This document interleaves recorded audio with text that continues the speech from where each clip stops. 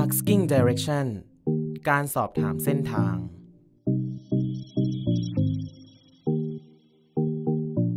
บางครั้งการที่เราต้องการหาสถานที่ใดสถานที่หนึ่ง เราต้องการขอความช่วยเหลือจากใครสักคนหนึ่ง เราจะมีวิธีการพูดอย่างไร ตัวอย่างเช่น ถ้าเราต้องการสอบถามเส้นทางไปงานคาร์นิวัลเราต้องพูดว่า where is the carnival แปลว่า งานคาร์นิวัลอยู่ที่ไหน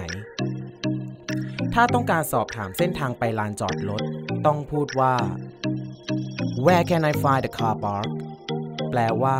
ฉันสามารถหาลานจอดรถได้ที่ไหน วิธีการตอบ หากไม่รู้คำตอบ เรามีวิธีการตอบดังนี้ 1. I'm sorry 2. I don't know 3. I am stranger here myself หรือการบอกให้ตรงไป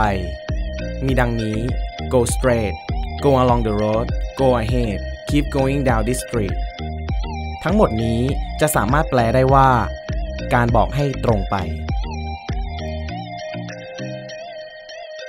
หรือการบอกทิศทาง turn left เลี้ยวซ้าย turn right เลี้ยวขวา go back หรือการบอกตำแหน่ง on the left หรือ right ให้เลี้ยวซ้ายหรือเลี้ยวขวา opposite ฝั่งตรงข้าม ตัวอย่างการสนทนาเกี่ยวกับ asking directions